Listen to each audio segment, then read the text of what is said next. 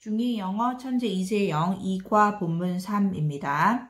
어, 우리 본문의 제목이 The Translation App에서 이제 번역 앱이었죠. 번역 앱이었고, 그리고 이 제이든이 이제 그의 부모님들과 함께, 어, 엄마언니의 친구 집에 이탈리아에 가서 머물고 있는 상황이죠.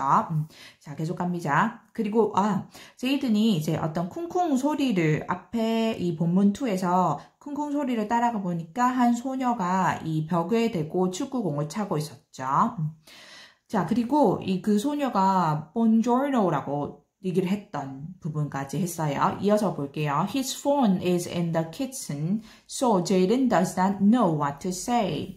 그의 전화기는 in the kitchen, 주방에 있다, 주방 안에 있다. So, 그래서 이거죠. 음. 그래서 제이든은 doesn't know, 알지 못한다, what to say. 자, 중요한 부분이죠. 우리가, 어, 이번 과 이과의 핵심적인 문법 중에 하나였어요. 그래서 무엇을 말할지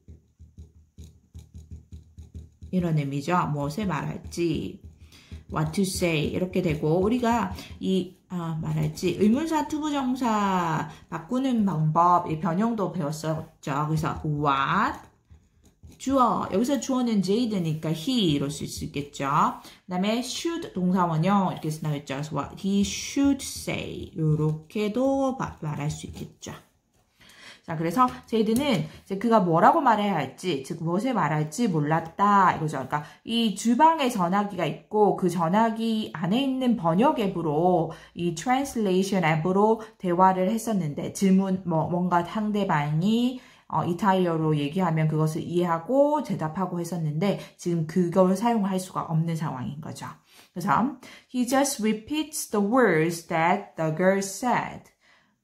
buongiorno 이거죠. 음, 그는 단지 repeats 뭐 반복하다라는 의미죠. 자, 그는 단지 반복한다. the words 그 말을 그 말, 그 단어 이거죠.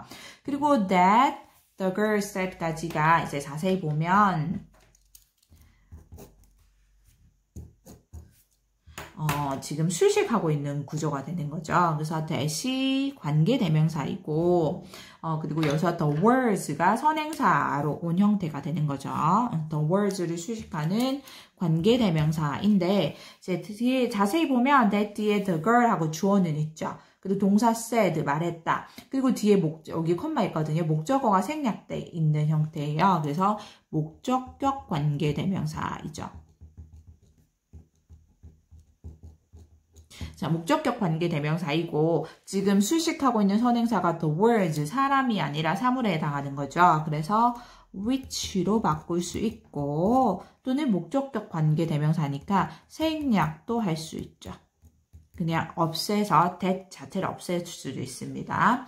음, 그녀가 했던 그 이렇게 되죠. 그녀가 말했던 그 말을 그는 단지 반복해서 말한다 이거죠. 그래서 여기는 이제 이 제이든이 얘기를 한 부분입니다. 제이든이 bon buongiorno 뭐 발음은 정확하게 모르겠어요. buongiorno 이렇게 얘기를 하죠. 음.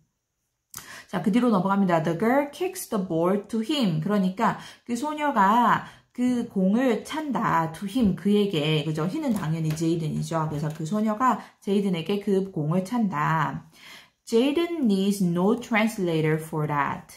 자, 제이든은 그것에 대해서는 이 번역기가 필요 없다. 이거죠. translator 하면 번역기, 뭐 번역하는 사람 이거죠. 자, 그것은 여기서 앞문장이 되겠죠. 앞문장이 되겠죠. 그래서 소녀가 제이든에게 축구공을 찾, 찾죠. 찾았죠.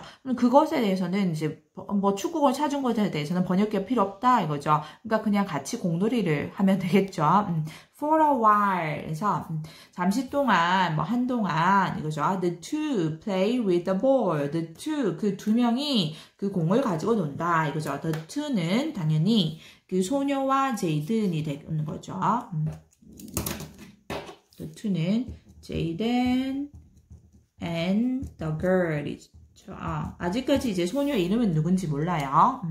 Finally, the girl points at herself and says, 미키, 미키아모 로자발라 뭐이 정도 자 마침내 그죠 finally 마침내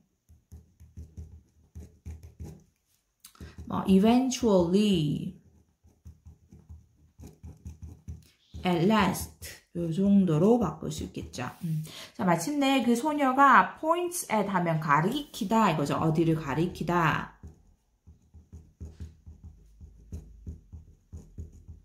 자, 그 뒤에 이제 herself 와야 되죠. her이 오면 안 되고 herself 와야 되죠.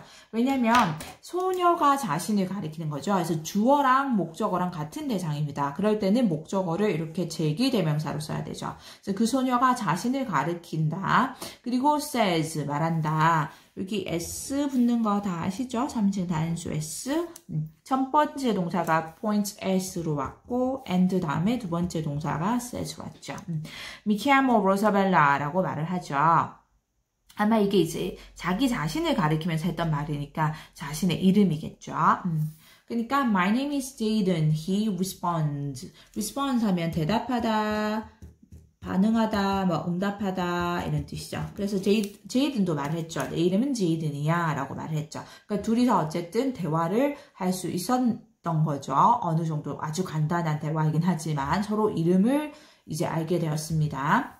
Suddenly, Rosabella says. suddenly 하면 갑자기 이거죠. 갑자기 로사벨라가 말한다. Arriva latabos. 뭐, 참 정확하게 발음 모르겠어요. 이탈리아어라서. Arriva latabos.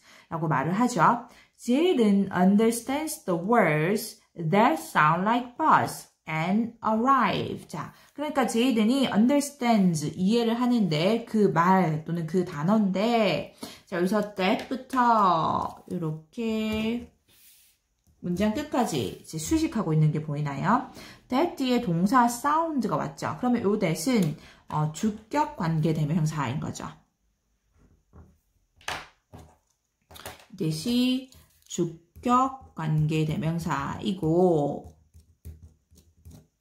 자, words가 선행사가 되죠. 지금 선행사가 words 단수, I'm sorry, 복수죠, 복수. words. 복수 명사로 오니까 동사도 sound like 복수로 왔죠.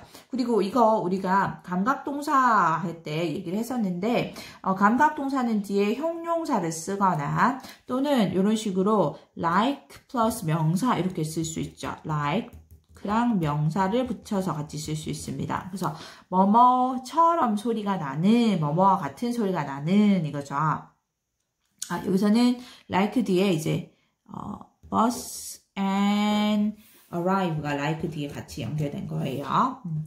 그래서 제이든은 이해하는데 어떤 말을 이해하냐면 어, 버스 그리고 arrive랑 같은 소리가 나는 버스 그리고 뭐 arrive처럼 소리가 나는 그 단어들을 이해한다 이거죠. 그래서 앞에 이 로사벨라가 했던 말에서 arrive, 라타 버스 이랬죠. arrive가 약간 영어의 arrive랑 비슷한 소리가 나고 여기서 bus가 이제 영어의 bus랑 같은 소리가 나는 거죠. 비슷한 소리가 나서. 그래서 이 소리로 그 단어들을, 일부 단어들을 이해를 하는 거죠. 제이든이. 음. 음, sure enough, a bus appears. 면, 어, 이렇게 만데 sure enough 하면 뭐, sure 하면 확실히 이거죠. 뭐, 충분히 확실히 이런 느낌이 될 텐데, 이제 아니나 다를까? 뭐, 이런 느낌입니다. 아니나 다를까? 이것도 우리 익숙하지 않았으면 알아놓고,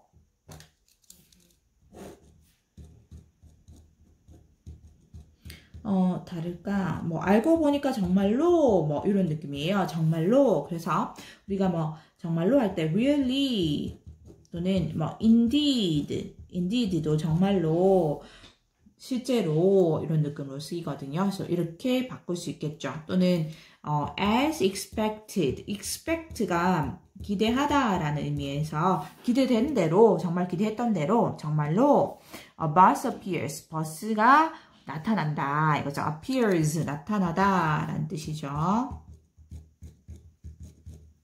어, 혹시 disappears 오면 달라, 반대말이 되죠. 완전히. disappear 하면 사라지다 라는 의미가 되니까 이렇게 오면 안 되겠죠. appears, 나타난다. 그래서, 어, 이, 아까 소녀가 이 로사벨라가 arriva bus 하니까 제이든이 아 arrive라는 뜻의 아, arrive라는 소리랑 비슷한 단어 그리고 bus랑 비슷한 소리를 가진 단어를 이해를 했죠. 근데 이제 버스가 arrive가 도착하다라는 뜻이니까 영어로 arrive가 아 버스가 도착하나 보다라는 정도로 제이든 이해를 했겠죠.